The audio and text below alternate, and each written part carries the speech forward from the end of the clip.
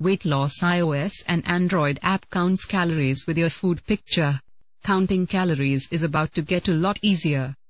The nutrition tracking app, Lose It, has introduced a new feature that allows users to count calories in their food by uploading photos. Snap It, the feature is out now on both the iOS and Android version of the app.